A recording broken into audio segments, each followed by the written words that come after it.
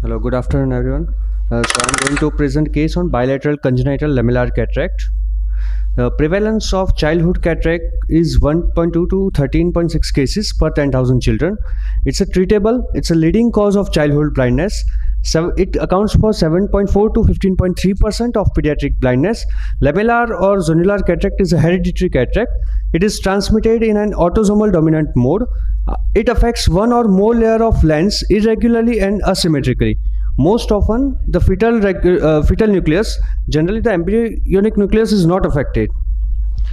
In the case, 15-year-old male child from Sadgavan came with the complaints of both eye diminution vision since childhood. Antenatal, antenatal history was une- uneventful. Birth history and weight, uh, it was un- uneventful. And uh, developmental milestones achieved as per age. Father have, was diagnosed to have congenital cataract, on examination, visual acuity distant, it was uh, right eye 5 by 60 with pinhole not improving. In left eye, it was 6 by 60 with pinhole not improving. Near vision was N12 in both eye. External examination of child was uh, normal. On slit lamp examination, late conjunctiva uh, scleral corneal examination was in normal.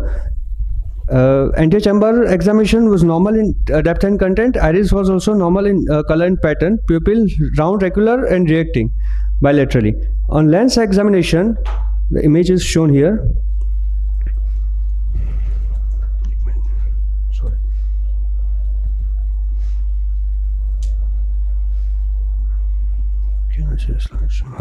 Opacity is noted in the central core of nucleus with small linear opacities like spokes of wheel seen towards the equator suggesting lamellar cataract.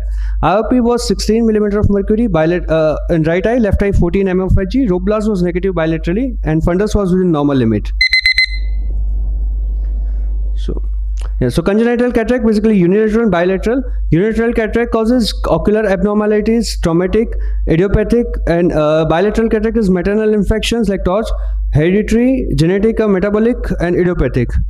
Uh, evaluation of the pediatric cataract include history, uh, special emphasis on family history to rule out uh, hereditary causes, history of child growth, development and systemic disorder, followed by genetic evaluation, physical examination, uh, in examination part, physical examination, followed by uh, visual function, corneal diameter, any abnormality in the iris, anterior chamber depth, cataract morphology, posterior segment evaluation, and in ocular imaging, B scan and ultrasound biomicroscopy was uh, included. In investigation, if the patient is uh, known known to have hereditary, then it is uh, we can avoid it. But in uh, undiagnosed case, we should go for uh, CBC, blood sugar, torch titers, VDRL, blood urea nitrogen, red cell uh, galactokinase, serum calcium, and phosphorus. Uh, urine an- analysis was also included. Unilateral cataract does not typically require extensive diagnostic evaluation. Axial length measurement was done by, uh, in this case, ultrasound by uh, microscopy. Keratometry, especially, uh, we, have, we have to check the readings. Uh, in younger child, it obtained under general anesthesia using handheld keratometer. The IL power calculation. Uh, we have to uh, see the child. If the if we aim at emmetropic child, uh, if, if we give IOL at emmetropic power, it risks myopia when the child matures. And if we aim for early hyperopia, then it may predispose to child to amblyopia. Uh, so uh, under correction, according to the Dahans and Drusedau formula, like 20 less than two years, 20% under correction, two to eight years, 10% under correction.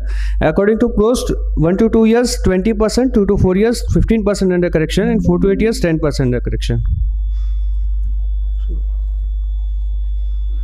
Uh, so the basically uh, the take home message for that the childhood cataract requires early detection and timely treatment.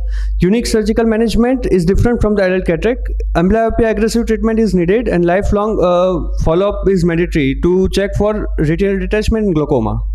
Thank you